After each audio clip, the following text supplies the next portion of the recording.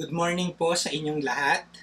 I am Aldrin and I serve as one of the pastors here in Bread from Heaven Community Church in East Manila. At bago po tayo magsimula, binabati ko po kayong lahat, especially yung ating mga first-time viewers. Binabati ko po kayo ng Happy Father's Day. May the Lord bless you and may He continuously guide you as you lead your families. Today is the start of our new sermon series in 1 Corinthians. So para po ngayong araw na ito, we will have an introductory sermon about Corinthians. We will talk about 1 Corinthians chapter 1 verses 1 to 3. Let me read it to you from the New Revised Standard Bible. At kung kayo po ay may mga Biblia, pwede nyo pong i-open yung Bibles ninyo and you can follow along as I read. 1 Corinthians chapter 1 verses 1 to 3. Paul, called to be an apostle of Christ Jesus by the will of God, and our brother Sosthenes, to the church of God that is in Corinth, to those who are sanctified in Christ Jesus, called to be saints, together with all those who in every place call on the name of our Lord Jesus Christ, both their Lord and ours. Grace to you and peace from God our Father and the Lord Jesus Christ. Let us pray. We thank you, Heavenly Father, for your word.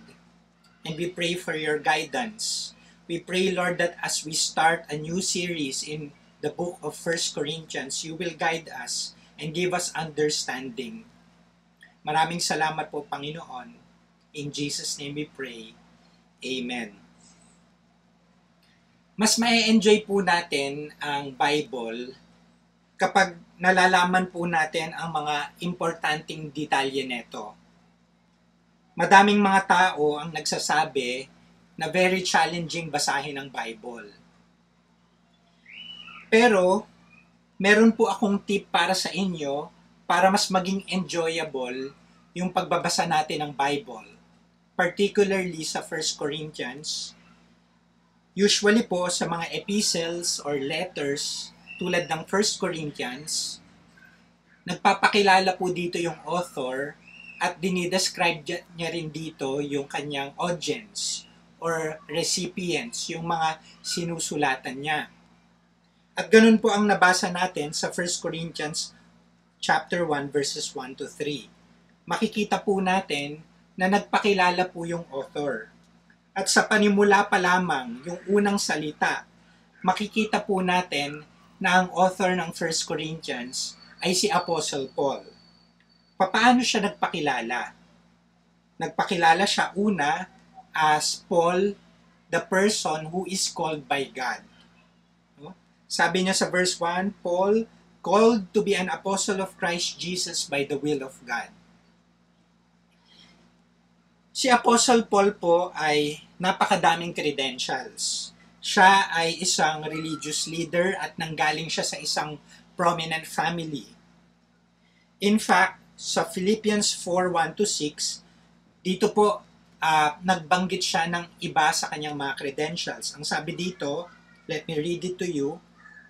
If someone else thinks they have reasons to put confidence in the flesh, I have more. Ang sabi ni Paul, mas may confidence siya. No, may confidence siya to be proud sa kanyang uh, mga na-accomplish. Bakit? Kasi ito, siya ay circumcised on the eighth day of the people of Israel. He is from the tribe of Benjamin, a Hebrew of Hebrews, in regard to the law, a Pharisee, as for zeal, persecuting the church, as for righteousness based on the law, faultless. Yung mga nagyayabang at naglalagay ng confidence sa kanilang sariling righteousness, accomplishment, no?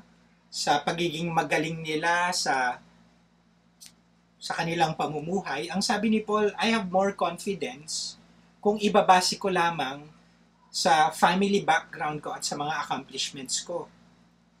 Yung mga nilista niyang credentials po dito ay yung mga bagay na binibigyang halaga nung time niya. No? Galing siya sa magandang pamilya, sa tribe of Benjamin. Ang tawag nga niya sa sarili niya, Hebrew of Hebrews. Tapos, um, siya din ay circumcised. Ito yung sign na uh, sila ay part ng covenant people of God. At siya ay very zealous. And sabi niya, as of righteousness, no, according to the law, faultless. Kumbaga si Apostle Paul, parang sinasabi niya, nabasa ko na yung Biblia.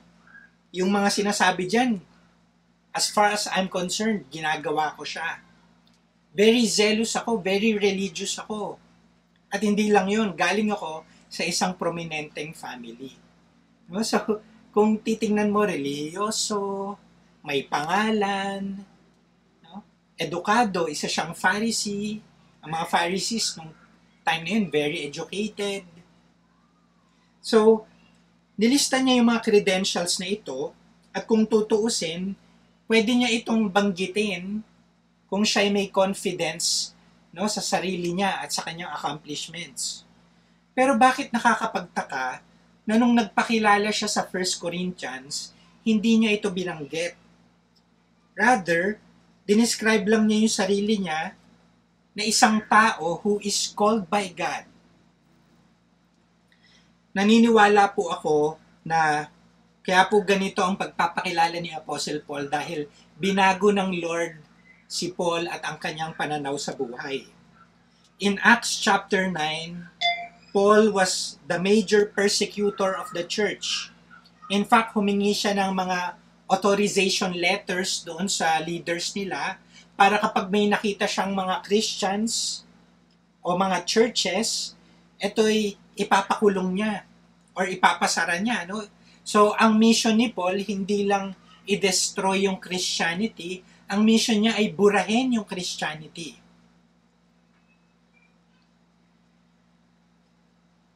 Pero, on his way to Damascus in Acts 9, we will see that on his way, Paul saw a great light. Sobrang liwanag at narinig niya yung tinig ni Jesus. Ang sabi dito ni Jesus, Saul, Saul, yun yung, uh, yun yung other name ni Paul eh. Saul, Saul, why are you persecuting me? At tinanong ni, ni Saul or Paul, Who is this? Lord? Ang sabi ni Jesus, It is I, Jesus, whom you are persecuting.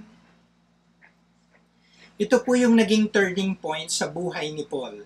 Akala niya dati, mga panatiko lang yung mga Christians pero dahil sa encounter niya with the Lord Jesus, the Apostle Paul, who is a persecutor of the church, became part of the church.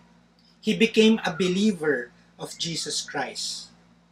At kung ang mission niya dati ay burahin ang Kristyanismo, this time, ang mission niya ay ang tatag ng Kristyanismo, ng simbahan, ang ipamalita ang ebanghelyo sa ibang parts ng mundo. Alam po nyo, when you encounter the Lord Jesus, your life will never be the same again. Si Jesus po ay hindi isang doktrina. Christianity is not about learning facts about Jesus course, it's important. But Jesus Christ is not a doctrine. Jesus Christ is a person. And we can know Him, and when we truly know Him, we will never be the same again. Just like the Apostle Paul. Kaya kahit madami siyang credentials na sinasabi sa Book of Philippians, sa kanyang family background, sa kanyang education, sa estado niya as a Hebrew of Hebrews, sa kanilang pride, sa kanilang lahi. Ang sabi niya sa verse 7 of Philippians 3, Yet whatever gains I had, this I have come to regard as loss because of Christ. Itong mga credentials na to, I consider it loss because of Christ. Brothers and sisters, the Apostle Paul, who is proud, who thinks that he is in the right, who persecuted the church, repented and acknowledged that he has committed a mistake. He has sinned against Jesus, whom he is persecuting, and became one of the church. He was stripped down of all the things which he can take pride in. And by the way, yung pangalan po na Paul, in Greek, ang ibig po sabihin ay humble. And I think after the apostle encountered Jesus, he truly lived up by his name. He was humbled. Brothers and sisters, maybe you can also relate with this.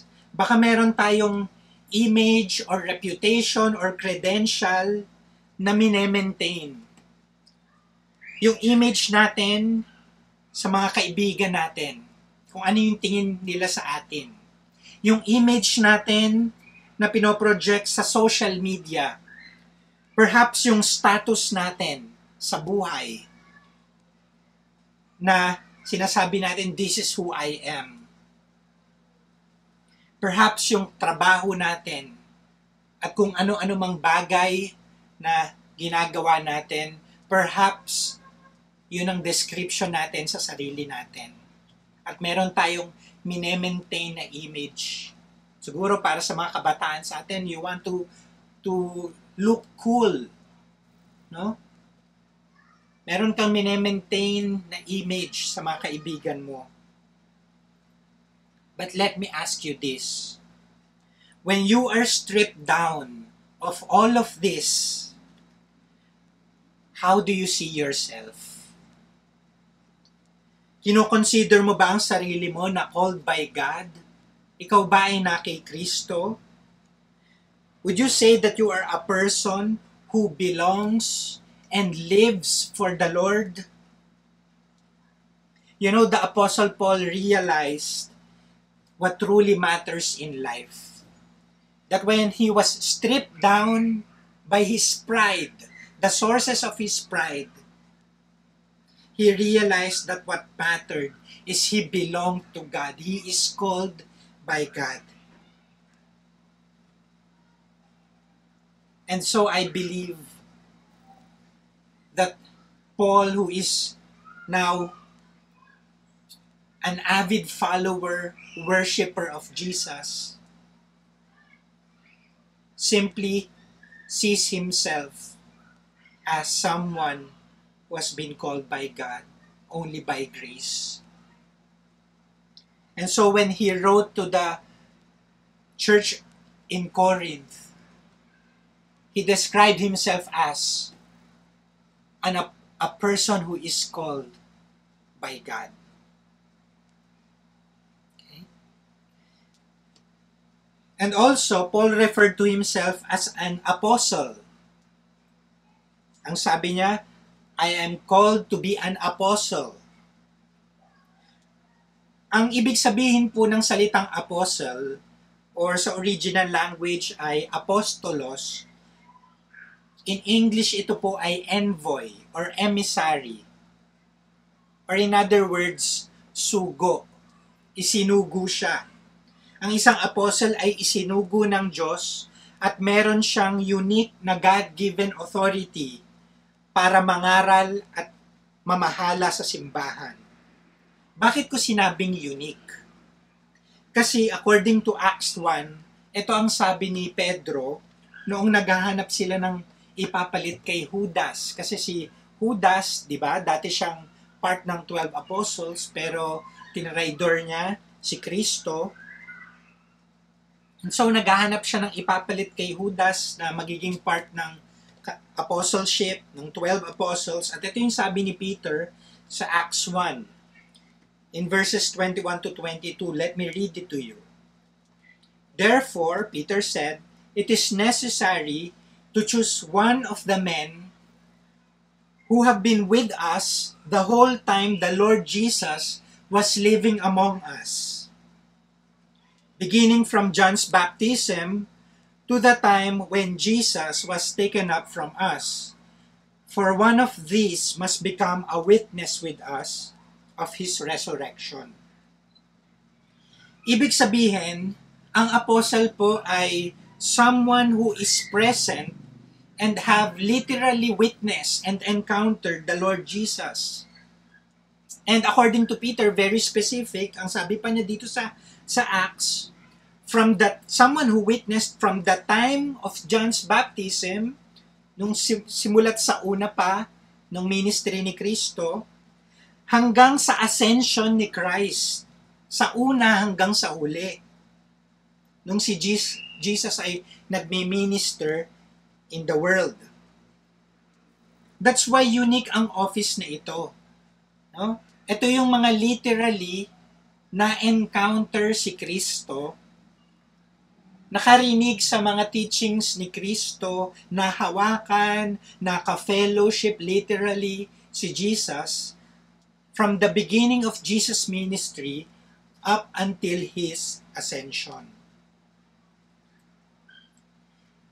That's why this is a unique calling, a unique position. However, meron pong few exceptions. A few exception was made by Jesus Christ himself. Paul was called to be the apostle to the Gentiles. He witnessed Jesus on the road to Damascus and Jesus himself appointed Paul. Si Apostle Paul po ay hindi siya part ng original na 12 apostles ni Jesus Christ. Ang sabi natin according to Peter sa Acts 1 na ang apostles ay someone who have witnessed literally and who has been there with Jesus from beginning to the end of ministry of Christ. But Jesus made an except, exemption in Acts 9. He himself appointed Paul.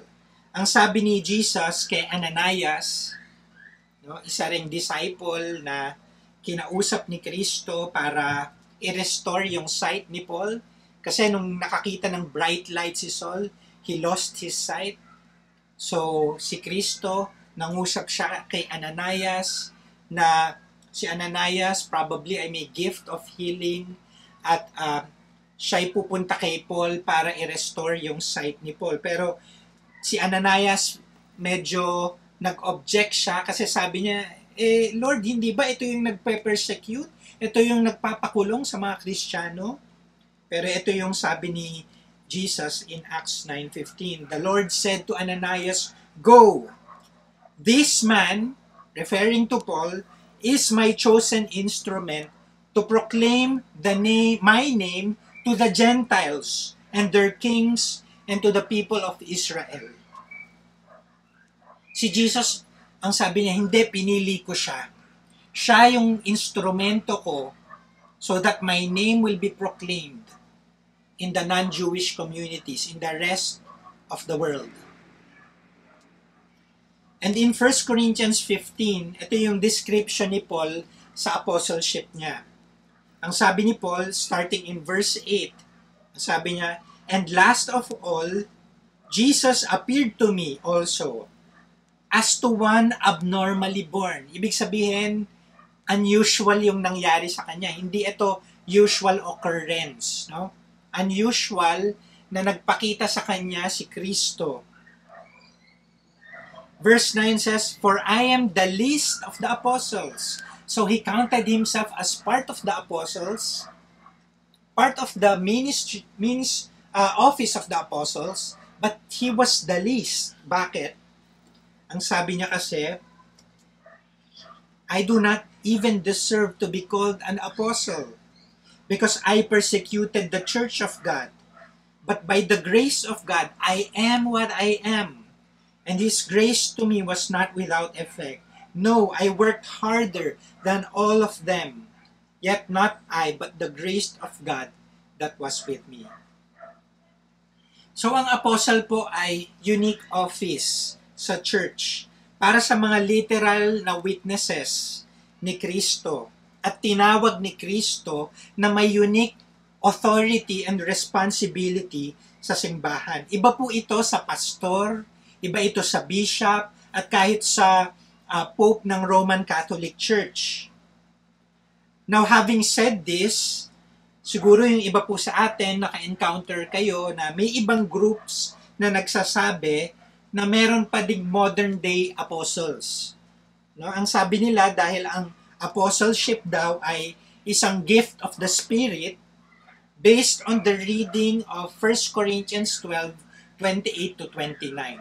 Now, I love my brothers and sisters in the Lord who says this, but I will respectfully disagree with them. No? Kasi, hindi naman explicit o malinaw na binanggit sa 1 Corinthians, 1 Corinthians 12, 28 to 29 na yung apostleship ay gift. Most probably, Paul is simply naming the various ministries that God has placed within the church in 1 Corinthians 12, 28 to 29. Not necessarily a gift or part of the list of gifts like in 1 Corinthians 12, 4 to 11. Dito po sa 1 Corinthians 12, 4 to 11, napakalinaw, enumerate yung different spiritual gifts pero dito sa verses 28 at 29, hindi naman malinaw na nabanggit na ang apostles ay isang spiritual gift. In fact, in other places in scriptures, an apostle usually refers to a unique calling or a unique office rather than a spiritual gift. Now, having said this, um, I just want to emphasize na kahit unique ang authority ng Apostle Paul, this doesn't mean na wala na tayong matututunan sa kanya, especially yung mga leaders ng simbahan natin. Hindi porket walang modern day apostles ngayon, ay iba na yung, yung tawag nila, no? Na wala na tayong matututunan sa pagtawag sa kanila ng Panginoon. Marami tayong matututunan dito, especially yung mga leaders sa ating simbahan. At makikita natin sa model ni Paul yung uh, maraming leadership uh, lessons. In fact, ang sabi ni Paul sa 1 Corinthians 11.1, ini-encourage niya to follow his example. Ang sabi niya, follow me as I follow Christ. And so, ano ba yung mga examples that we can learn as leaders from the Apostle Paul? Unang-una po, the Apostle Paul is very Christ-centered. He is Christ-centered. Si Kristo yung nasa sentro ng kanyang buhay at ministeryo at mensahe.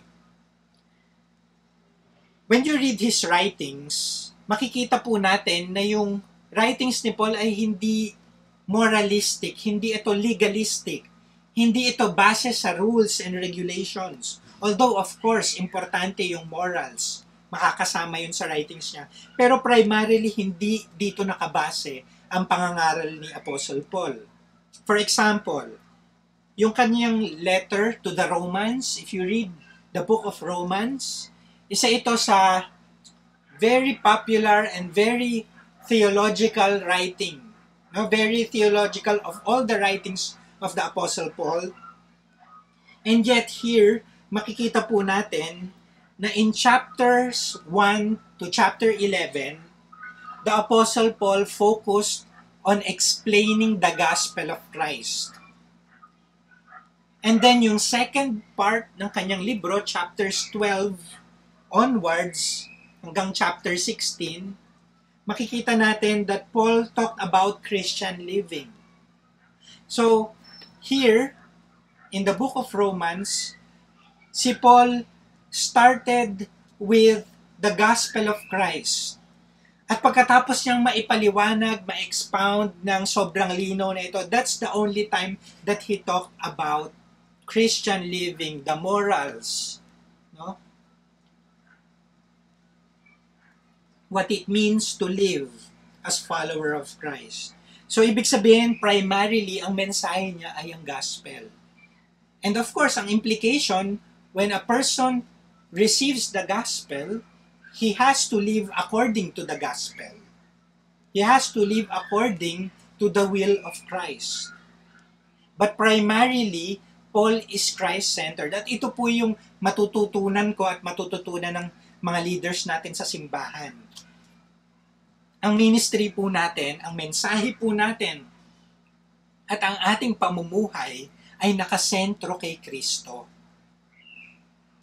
Hindi ito primarily about rules, about uh, do's and don'ts, or an advice on how to live. Of course, kasama yung mga yon, important yon.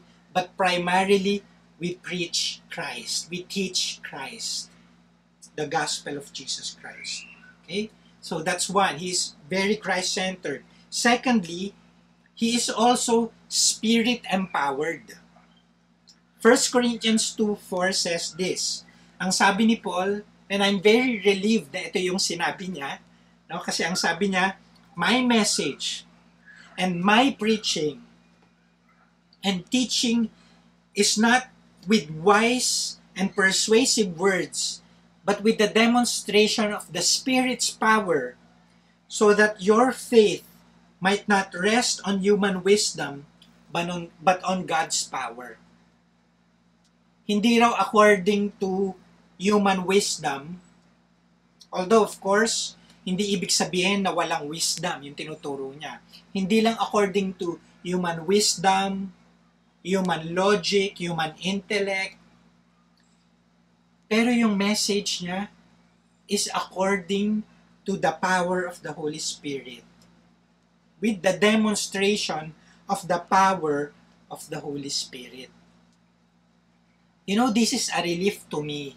Kasi kahit anong sabihin ko, kahit anong, alam mo yun, uh, anong galing ng pag-prepare ko sa sermon, what truly matters is that God's Spirit is at work when the gospel of Christ is preached. This is a relief to me. Kasi hindi po ako eloquent. Hindi po ako uh, bombastic preacher. Um, in fact, I, I consider myself as an introvert. But praise the Lord that through the power of the Holy Spirit, by faith, when I preach the gospel, yun yung gagamitin ng Spirito para ipakilala si Kristo sa mga nakikinig, para baguhin ang buhay ng mga nakikinig, para iligtas ang mga nakikinig ng mensahe And also, Paul is very mission-minded. He is Christ-centered, Spirit-empowered, and mission-minded. And of course, we all know that the Apostle Paul did everything he could.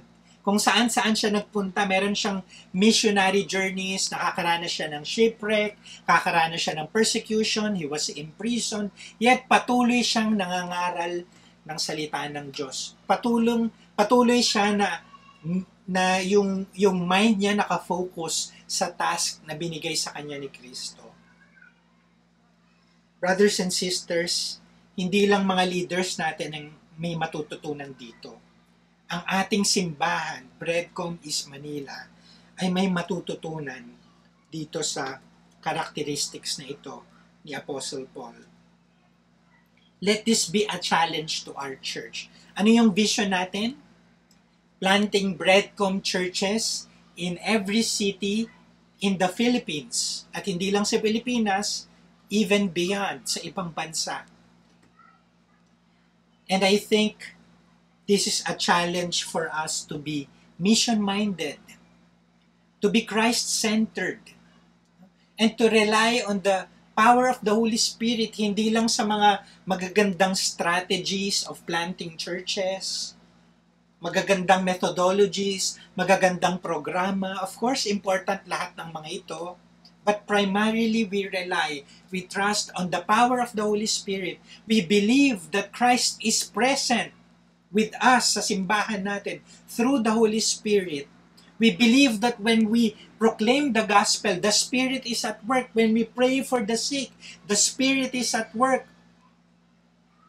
And we we want to practice the gifts of the Spirit in our church to as demonstration of the power of the Holy Spirit.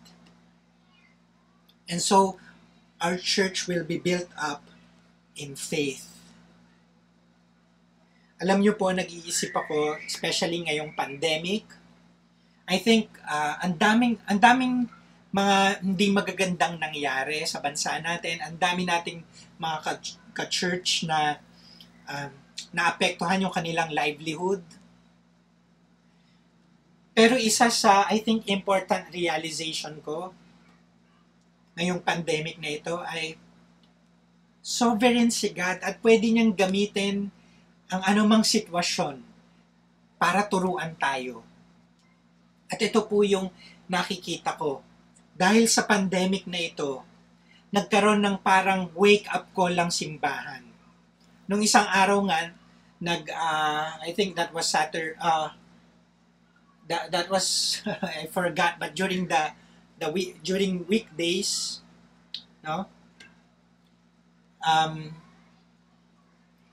nagkaroon ng meeting yung leaders ng ating simbahan at uh, nagbe-brainstorm kami. We talked about ano na yung gagawin natin. Mukhang tatagal pa yung quarantine, yung um, yung tatagal pa yung hindi pwedeng mag-mass gathering. And we realized na nasa, parang wala kaming sagot. No, para kaming nasa dead end. And you know what? Ang sabi, ang sabi ko, well, why don't we reset this meeting and let's just pray. Let's ask God. And you know what I realized? This humbles us. This forces us to be on our knees and to pray and to re- to ask God. And perhaps through this the Lord will renew us and empower us. And the, the Lord will guide us on how to fulfill our mission, our God-given mission. I believe that through this pandemic, this is a wake-up call for us to be the church amidst opposition.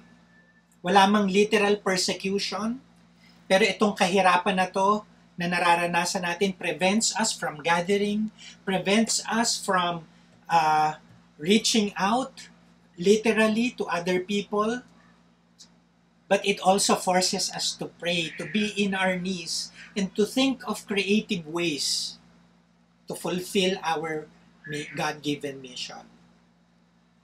And so marami po tayong matututunan mga kapatid. And that's the characteristics, some of the characteristics that we see from Paul. He is Christ-centered, he is spirit-empowered, and he is mission-minded. Characteristics that I am praying for myself and I am, I am praying for in our church. We cannot accomplish our mission to plant breadcom churches in every cities in the Philippines and beyond without being Christ-centered, spirit-empowered, and mission-minded. So why don't we pray for this right now before we move on? Let's just ask the Lord sa, kani, sa kanilang mga bahay, let's pray and ask the Lord that He helps us. Heavenly Father, Lord, we pray that you will help us like the way you helped the church in Corinth. Help us, Lord, to live in accordance to your word. Give us guidance so that we will fulfill our mission. Lord, be with us and remind us that your Spirit is present in your church. And Lord, because of your Holy Spirit, we have the power to proclaim your name in such a powerful name, uh, in such a powerful way to all the people in the Philippines, in the surrounding areas of Bradcom Church, in other parts of the Philippines, and even in our other countries. In Jesus' name, Amen. Ako po, I'm really excited you know, kung ano yung gagawin ng Panginoon sa simbahan natin when we pray. When we pray that we be empowered by the Spirit and we ask help. We ask for guidance as we reach out to other areas. So that's the Apostle Paul. He is someone who is called by God and a person who is called to be an apostle with characteristics such as Christ-centered, spirit-empowered, and mission-minded. I pray for these things to be upon us. Now let's move to verse 2. Kung kanina nagpakilala si Paul as the author, in verse 2 makikita po natin na ipinakilala dito yung simbahan na sinusulatan ni Apostle Paul. And of course, this is the church of Corinth. That's why the title of the book is 1 Corinthians. So sumulat si Paul dito para ibigay yung instruction sa Church of Corinth. At ano ba yung sinabi ni Paul? Paano niya dinescribe yung Corinthian church? Yung unang salita na ginamit po dito sa verse 2 ay sanctified medyo heavy po na word yun, no? sanctified. Pero ano ba ibig sabihin na ito? It simply means to make holy no? o pinabanal. Christians are people who have been made holy through the work of Christ.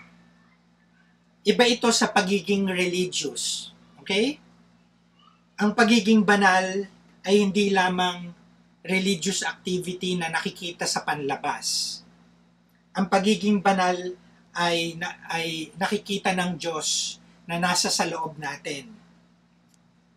Walang tao ang ipinanganak ng banal. In fact, sa Romans 3, napakalinaw po, it says there that we have all sinned. Lahat tayo may tendency na magkasala.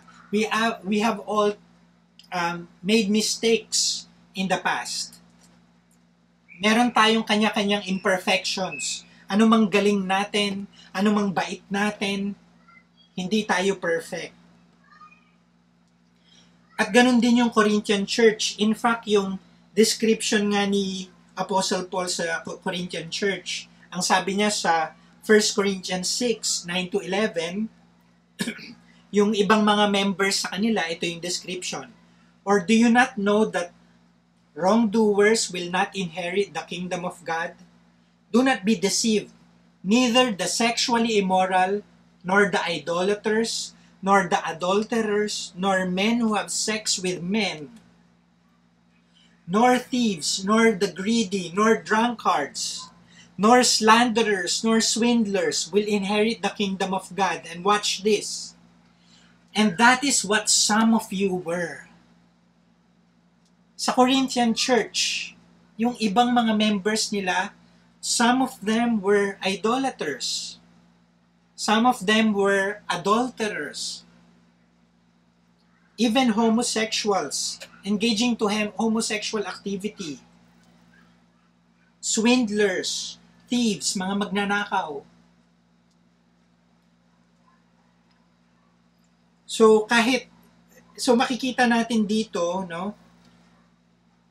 Ganong klase silang mga tao dati bago sila naging uh, Kristiyano.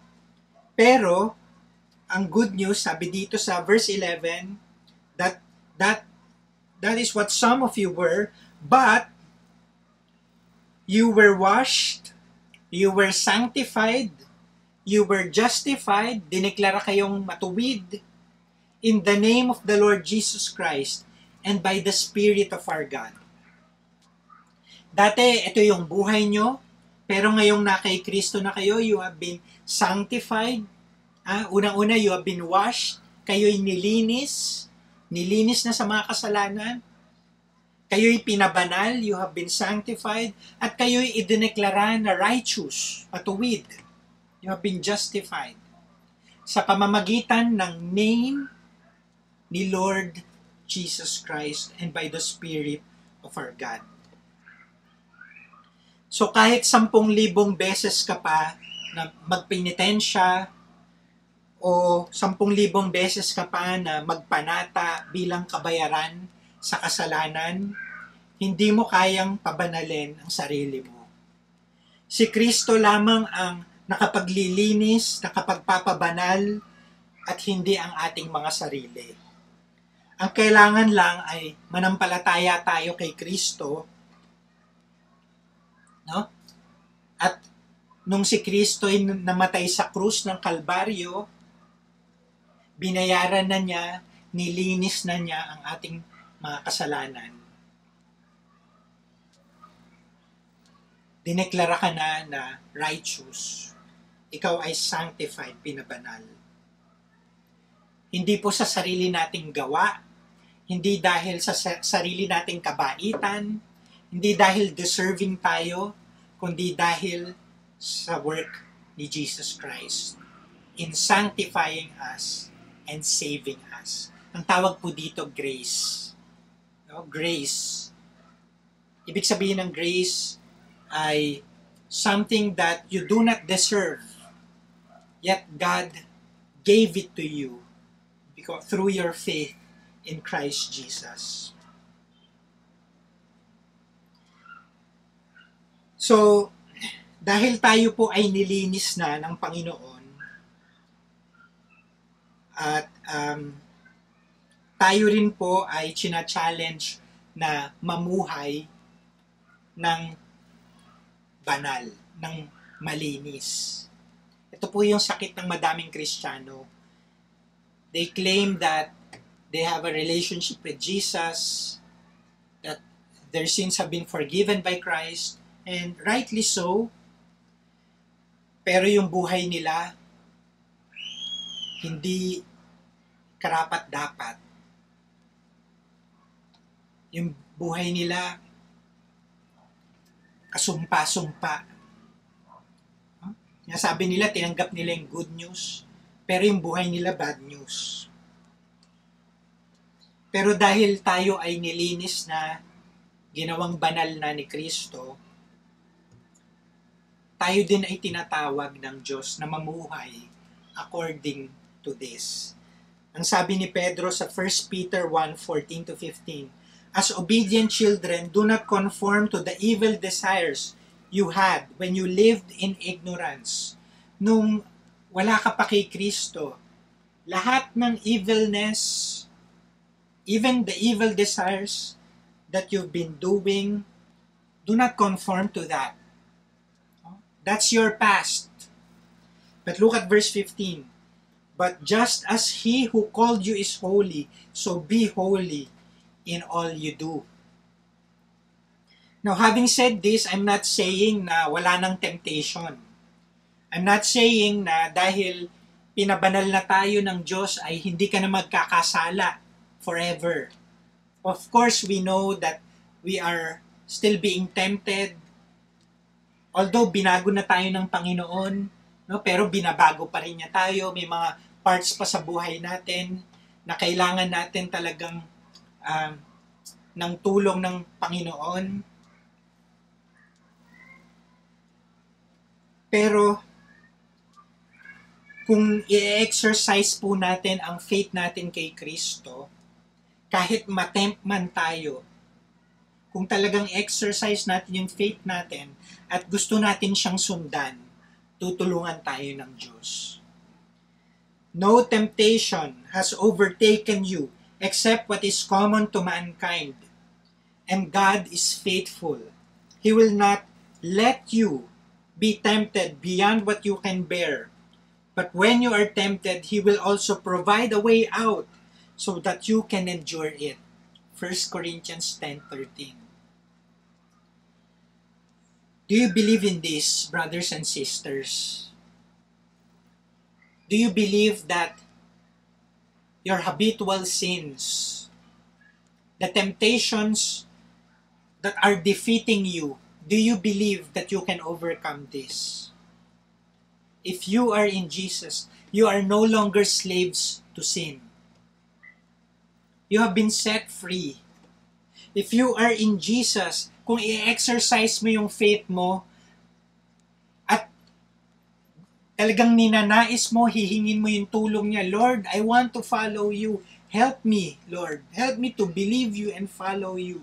Tutulungan ka ng Diyos to overcome temptations as He promised in 1 Corinthians 10.13. Walang anumang temptation ang mag-overcome sa'yo. Walang anumang temptation ang sobrang bigat na hindi mo kayang i-overcome. Hindi ka bibigyan ng ganong kabigat na pagsubok ng Panginoon. But He will provide a way out so that you can endure it. But the challenge for you and me is, will you take this promise and will you believe Jesus? Will you follow Jesus? Lastly, the Corinthian church was also described as saints. Kanina, the church is sanctified, this time, saints. Ngayon, pag sinabing saints, alam ko may mga misunderstanding dito, no? But this is, I think, a good opportunity to clarify the misunderstanding. Pag sinabing saints, hindi po ito yung tumutukoy sa mga rebulto na santo.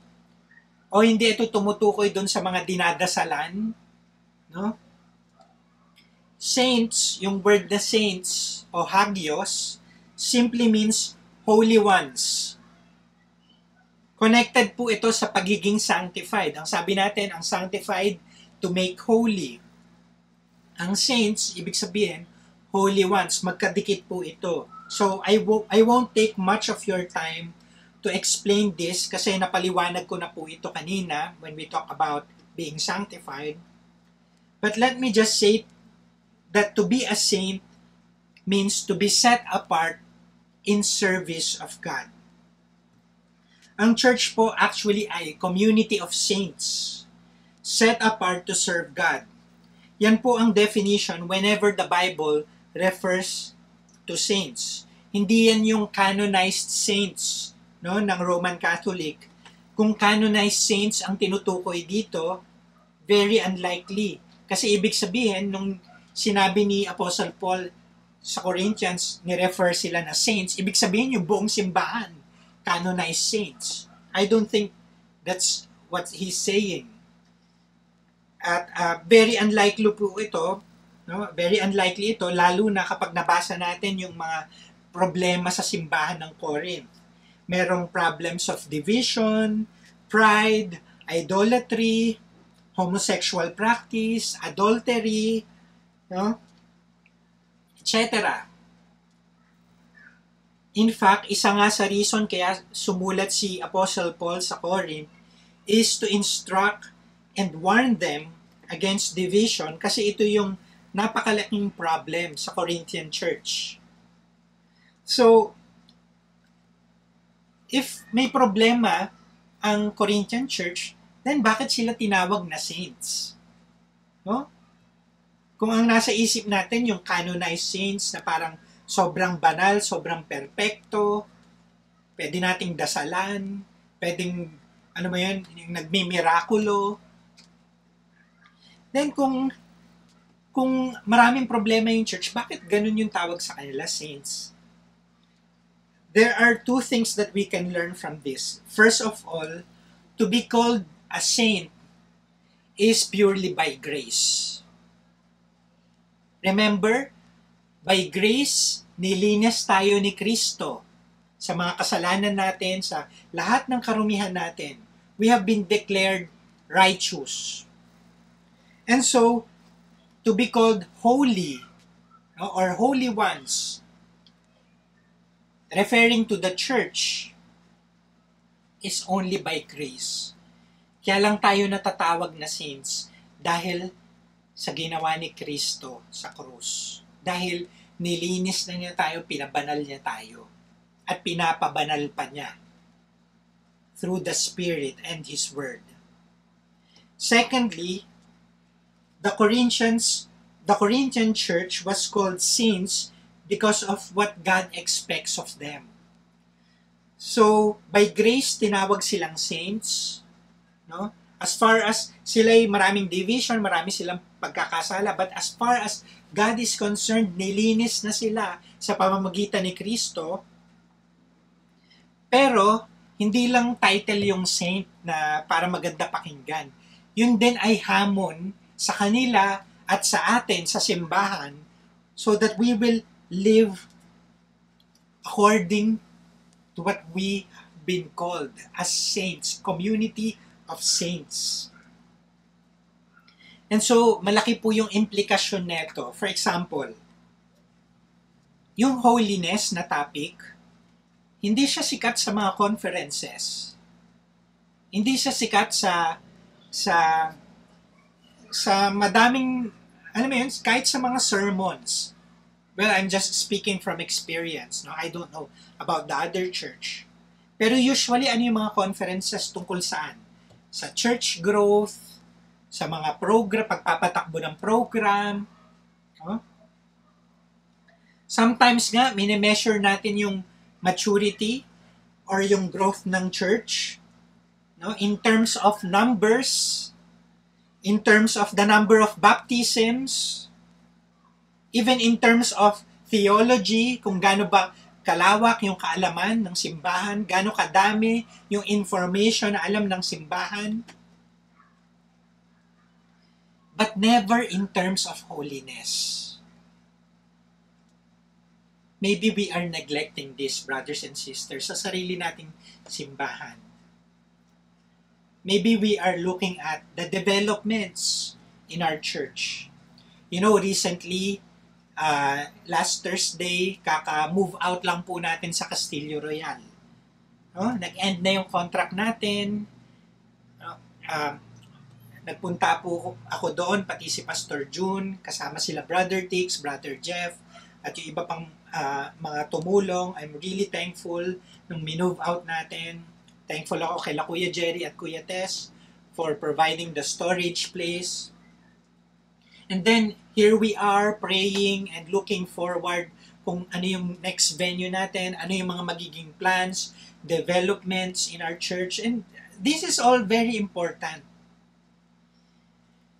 You know, but when I was reflecting on this, I realized hindi sapat yung ibinibigay nating importance, yung emphasis when it comes to growing in holiness.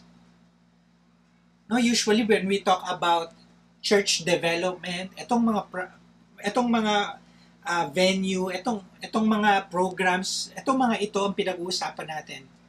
But what about holiness? I think yes, totoo na it concerns about numbers and it concerns about the church characteristics, but also the church Christ-likeness, the church's godliness and holiness. That is what growth is all about. And so I pray, at ako po dinedesire ko. In fact, ang salitang breadcom 'Di ba yung letter B doon, ano? Beautiful, right? I pray that when the Lord looks at us, He will see the beauty of Christ. I pray that when we grow, it, it's not just in terms of programs or numbers, but with the demonstration that we are really the body of Christ kasi nagiging kamukha natin ng patuloy si Kristo. I pray for us to be a church marked with holiness for the glory of God. So let me summarize what we've talked about. We talked about the intro, introductory uh, things or introduction to the book of First Corinthians and we talked about the author of the book, si Apostle Paul, who is described as a person who is called to be an apostle by the will of God in Christ Jesus. We also talk about the recipients or the audience, no, the author and the audience, the Corinthians, who have been sanctified and declared saints purely by grace. Kahit ang dami nilang kamalian, ang dami nilang mistakes na nagawa at nagagawa ng patuloy by God's grace, they are in Christ saints and sanctified, forgiven, cleansed by the blood of Christ. Hallelujah. We praise you, Lord, for your amazing grace. We praise you, Lord Jesus, that by your grace, through Christ, we have been accepted as your own. Hindi po enough yung salita to describe how amazing this is, O Lord. We're just grateful for this. Hallelujah. Maraming salamat, Panginoon. At si Apostle Paul po ay nagtapos sa verse 3 with these words. Grace and peace to you from God, our Father, and the Lord Jesus Christ. Now, kapag nagbasa po kayong ng mga commentaries, usually, itong linya na to ay described as a greeting. And rightly so.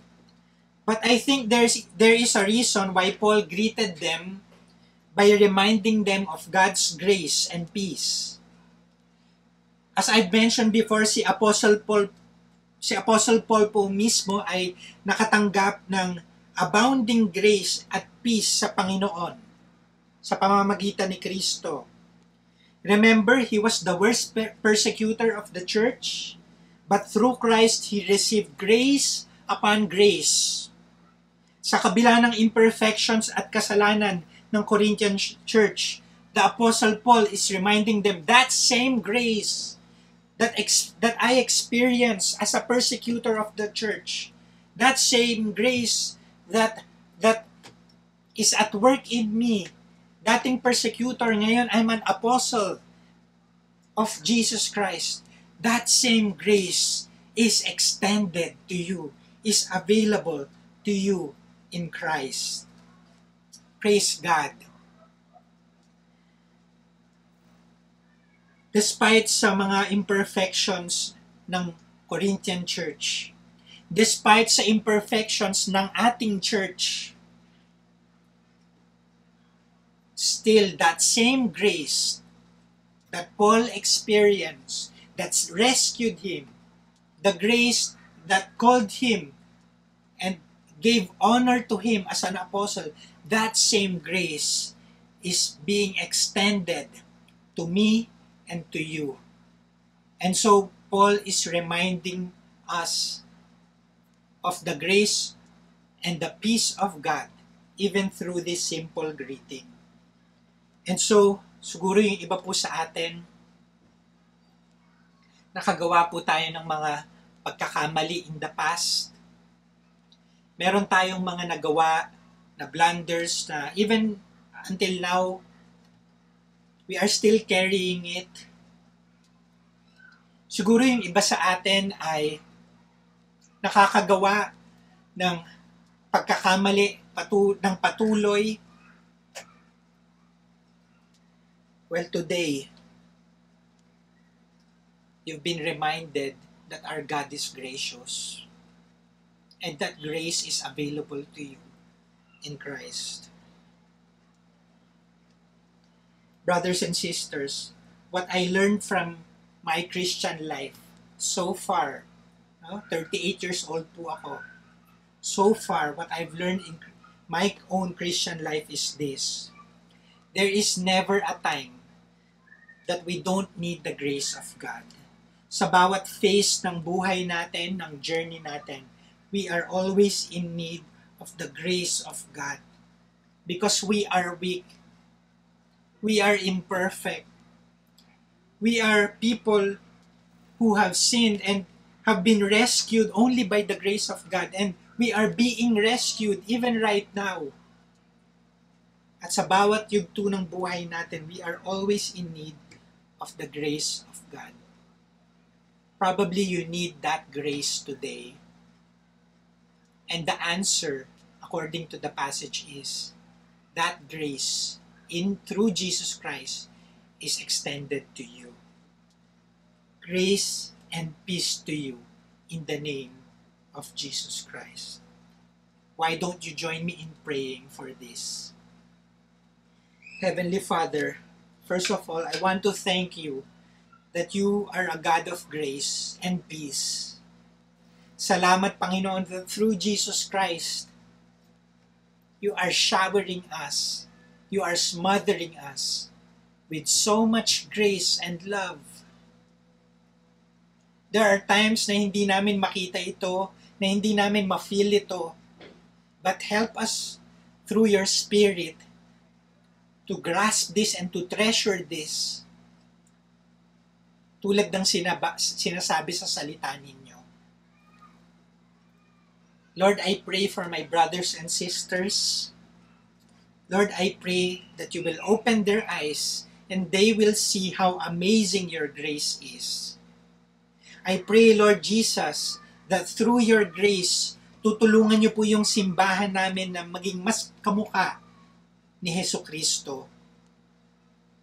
And I pray, Lord God, that through this sermon series, our church will learn what it means to be a church who is sanctified, a church who is a community of saints. In Jesus' name we pray. Amen and amen.